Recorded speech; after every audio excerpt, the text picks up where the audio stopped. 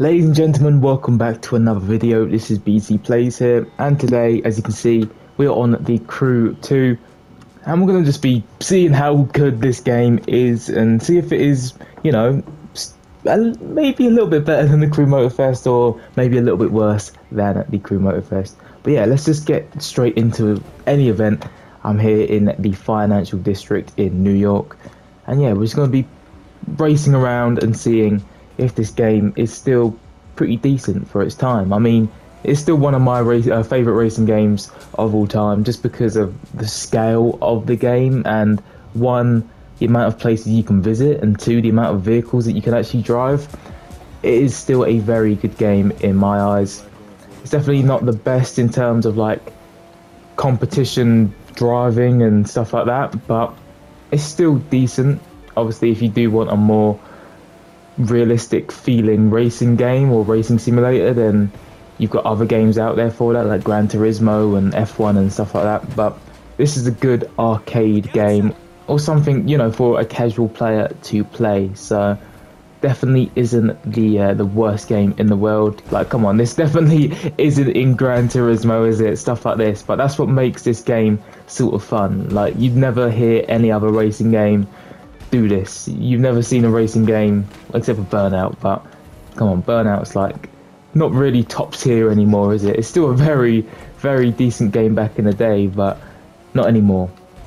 But yeah, I just wanted to jump on to the Crew 2 and just see how it felt. And to be fair, the vehicles they don't feel as bad as I initially thought they would.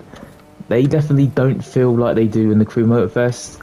The Crew Motorfest has definitely changed the way the vehicles perform but I mean, it's still not bad considering. It's definitely still usable, and you can definitely feel the effects of different vehicles.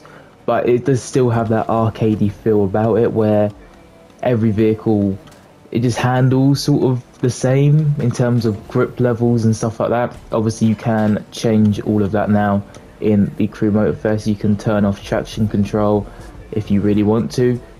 But I don't know. I'm just sort of getting a little bit bored of the Crew Motorfest. That's probably shown in the lack of videos that I've been posting recently. There just isn't much for me to report on the Crew Motorfest. Maybe I should actually dive into other games. It doesn't have to just be racing games, but there is other racing games I do want to test out out there and obviously report on. There's all the Need for Speeds. Uh, like I said, Burnout. I don't have an Xbox, so I can't play Forza, but I could still get Forza somehow. But yeah, the Crew Motorfest right now just isn't doing it for me. I did have times like that on this game as well, but I sort of got through it a little bit easier, and I probably think that's the the fact that this game, I'll, I'll say it did have better events. They were very similar, but the events in this game they're just better structured out. I think, in my opinion, I just don't like the whole series thing that they have in the Crew Motorfest, and it sort of finds it hard to find any good events. And I do find myself getting quite bored of the events. I don't know if that's just because when the game came out, I one sweated it out quite a lot, and two, I've probably grown up a little bit now. Whereas when the Crew 2 came out, I literally was still a little kid, and I love this game.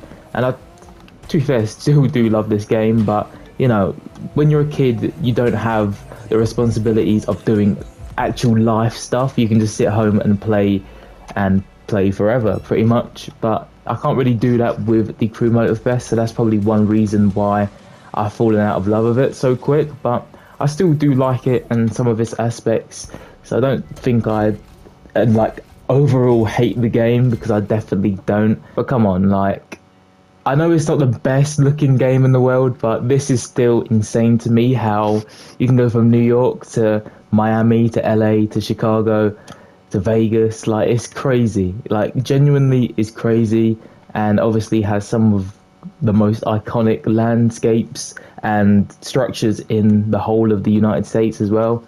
The Hoover Dam, um, the whole of the Vegas Strip, obviously the Golden Gate Bridge as well.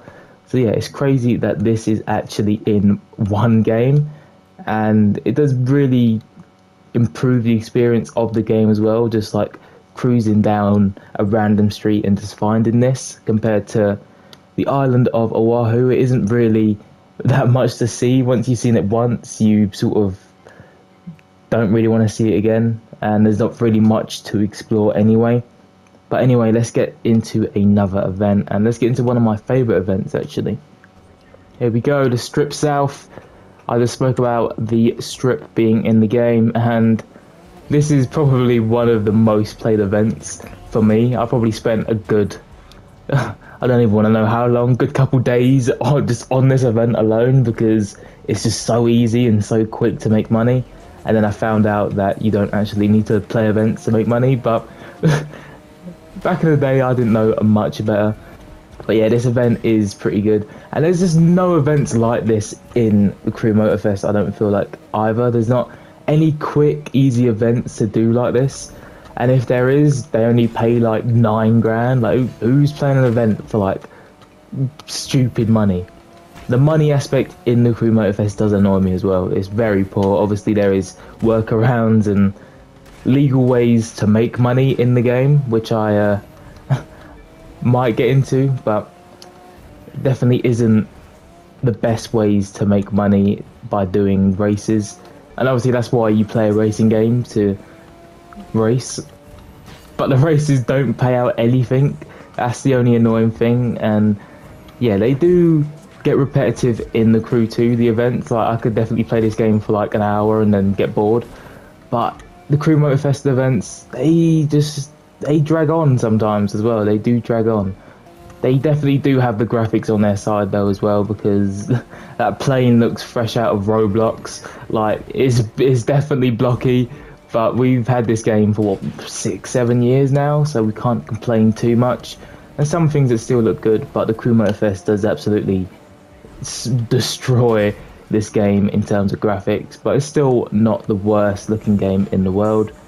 There we go, the Strip South, a very, very good event. And to be honest, this game isn't as bad as I initially thought. It definitely is still playable, and I know there's quite a few things that have been added. There's, I think, some new cars. I think, I think there's some new cars, some new vehicles, and there's also a new thing to the stories. I think they're called stories, aren't they? Where are they? Here we go. If you go on to activities and hobbies, there is yeah two new hobbies. I thought so. So this one gets you an Audi TT RS Roadster, and then this one gets you an RX-7 Evo Group B. Okay, they both look very, very nice, and you need to complete some mad skills. I, I don't like the name of that at all, mad skills, but if you do want to get these vehicles, you just need to complete these events and get stars, pretty much like these other ones. And there's also obviously I don't know why, but I do enjoy the summits on the crew 2 a lot more than the crew motorfest. The crew motorfest ones just feel they feel a bit incomplete, whereas the crew the crew two ones just feel a lot more complete. I don't know how to explain it because like it's very rare for me to complete a summit in the crew motorfest, whereas on the crew two I would just easily complete one, and I probably still could easily complete one there's just not enough variety in events, I don't think, in the Crew Motorfest ones because look at this. We've got a monster truck event, a monster truck event, a touring car, air race, a drift event, and a hovercraft event. So you're always doing something different, which you're not doing in the Crew Motorfest Summit. And that's sort of the good thing about the summit. There's different events for you to try out, even if you don't like that certain discipline, then obviously you can test out new vehicles and you might like that new discipline or if there is a new vehicle then you get to test out that new vehicle as well that is in a different discipline. So that's the one good thing about the crew 2 summits. And obviously community races as well are on the crew 2 i don't know if there's been any new ones. And as well there's let's check out some of the new vehicles. I know there's a new brand. There we go. The gordon murray never heard of them in my life but they are quite new vehicles 2022 uh, 2023 and 2024 they sort of look like um sort of look like the the P1 and not the P1 the F1 and a Senna not a Senna an F1 and a Saleen if they like had a baby. That's what it, it sort of looks like. There's also some other new vehicles spotted around in the rest of the groups as well. There's this one as well, which is a plane. But yeah, there's a few, a couple of new vehicles to actually test out, so I could test them out. But yeah, if you want to see some Crew 2 content as well as Crew uh, Crew Motorfest content, then leave a comment down below and tell me what you want to see. But yeah, definitely am not stopping Crew Motorfest uploads just because it is a newer game. So I, I kind of need to still push Crew Motorfest content. But yeah, just tell me what you want to see down below from the Crew 2, and I will make it happen. And while you're down there, don't forget to like and subscribe if you are new, and I will see you in the next video.